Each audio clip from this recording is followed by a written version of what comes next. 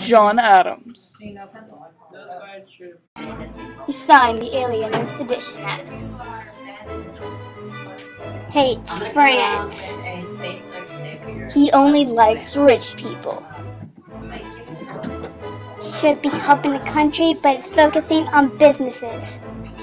He hates the Constitution. Instant replay. He hates the Constitution. He loves Britain. Vote Thomas Jefferson. He's the one for you.